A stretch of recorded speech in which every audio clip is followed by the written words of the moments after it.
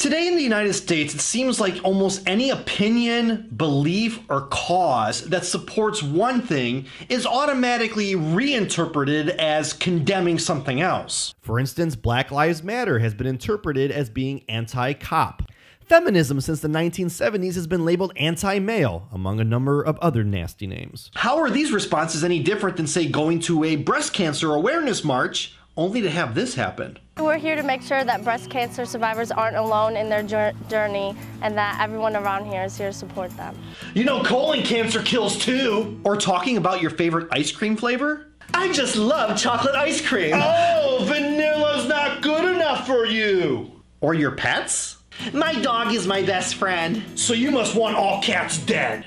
Just because you might support or favor one thing doesn't mean that you're against something else. This is the backdrop for what I want to say in response to an email that I received by a former student a few weeks ago. She wrote that relatives of hers were challenging her sexuality by stating that the Bible says that God made marriage between one man and one woman, and so she was seeking my professional response to that argument.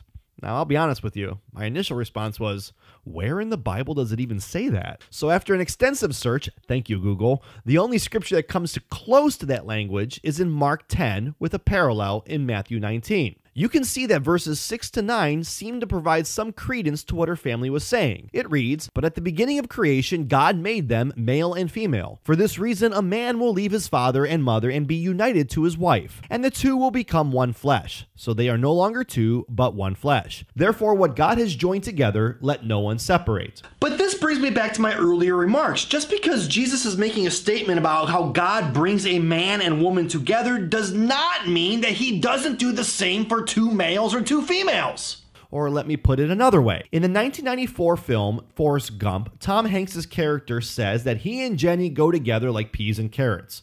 For Gump, peas and carrots are the perfect combination. So would that mean that any other combination of veggies is wrong? As a kid, I loved peas, but not so much carrots. Are there more nutrients that I can acquire by having both veggies on my plate? Sure, but that does not mean it's bad to simply want more peas and avoid carrots, even though God provided us with both wonderful veggie options. My point is, men and women on many accounts do go together in ways that are very special. And I'm not talking just sexually. And Christ is certainly pointing out how important it is that men and women recognize this blessed fruit of heterosexual marriages. Or should I say veggies?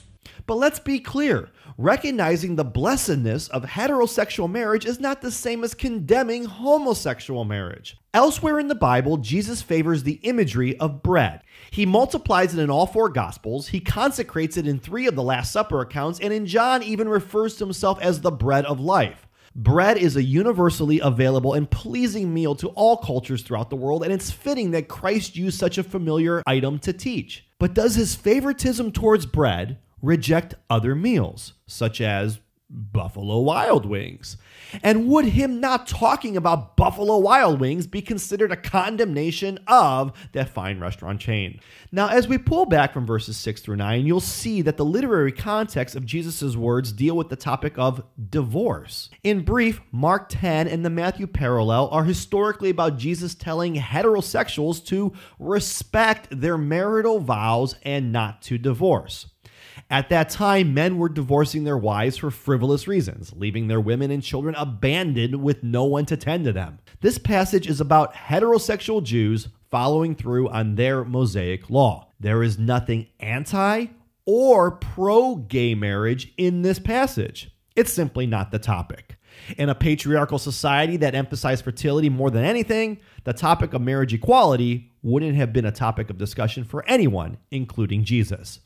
In preparing this episode, I couldn't help but think of the 2014 2015 Roman Catholic Synod of Bishops on the Family. As a member of the LGBTQ community, I was hopeful by the topics being discussed and that possibly by the end of this conference that maybe the Roman Catholic Church would either affirm marriage equality or at the very least update its catechism language involving my community. I still don't like my marriage being referred to as intrinsically evil. But if you're not familiar with the outcome, the only real change that came about was an update on annulments surrounding divorce. In short, Catholic heterosexual couples now don't need to go through as much red tape in order to get married a second time as they did prior to this synod. So, in other words, the Catholic Church just made it easier to divorce and remarry. Now, now, how is that not the very violation of the dignity of marriage that Jesus was talking about in Mark and Matthew? I mean, we are, gays are just trying to get marriages recognized by their church. Yet this synod just made it easier for heterosexuals to start thinking about, well, their second one.